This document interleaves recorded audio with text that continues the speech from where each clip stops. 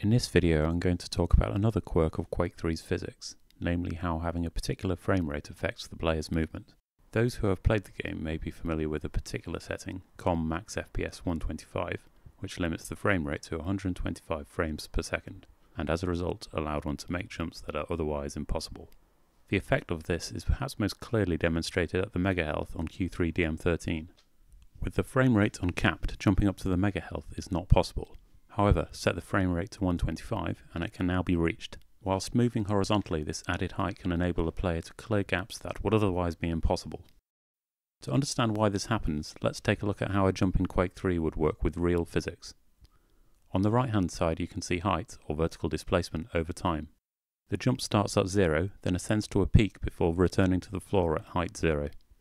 Another way of thinking about this is in terms of the velocity as shown on the left hand side. As you can see the velocity starts at 270 units per second, the jump velocity in Quake 3, and then decreases at a constant rate. This rate corresponds with the acceleration due to gravity, 800 units per second per second. Note that the area under the velocity curve produces the height curve. So how does Quake 3 actually calculate the player's velocity and height over time? The first thing to note is that the velocity and height are updated for every frame rendered. The pseudocode at the bottom of the screen shows how the game does this update when the player is in freefall. The velocity is decreased by the frame duration multiplied by 800, the acceleration due to gravity. The height is then increased by the area under the velocity curve over the time for this step.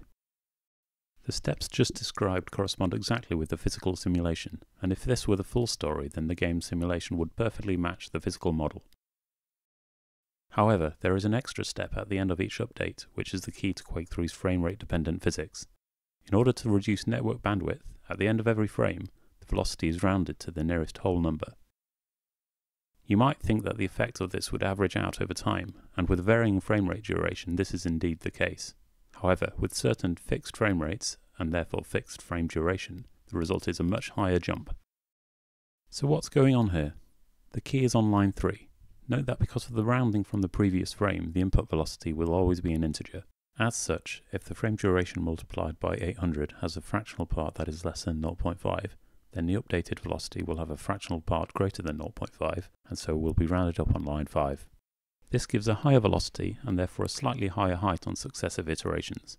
Accumulated over all the frames of the jump, this difference results in a large increase in height. The COM max FPS variable, which was intended to limit CPU and GPU usage, is used to manipulate the frame duration such that this desirable rounding is achieved. Internally, the COM max FPS variable is converted to a whole number of milliseconds and then rendering of a frame is delayed until this number of milliseconds has elapsed since the previous frame. Because the frame rate is expressed as a whole number of milliseconds, then there are a limited number of values that actually make a difference. Let's try a few. 333 FPS is clearly coming out on top, with the usual 125 FPS close behind. In fact, 333 FPS is the optimal frame rate. So why don't players use COM max FPS 333? Well, the Quake 3 network code sends the player's inputs for each frame in a packet, and the packet rate when playing over the internet is controlled by the CL max packets variable, which has a maximum value of 125. As such, if you're playing over the internet, there will be no more than 125 player movement commands per second. 125 FPS truly is the best option for playing online. However, if playing locally or on a LAN and your computer can achieve 333 frames per second, then you can enjoy much higher jumps with this setting. Later on in Quake 3's life, this frame rate dependence was addressed by adding the pmove fixed variable. When set to 1 on a server, this disregards the frame rate of each client and does player movement updates at a fixed duration, thus levelling the playing field a little for those not in the know about optimal frame rates. I hope you found this video enjoyable. If you did, please click like and consider subscribing. As always, please leave a comment if you have any questions.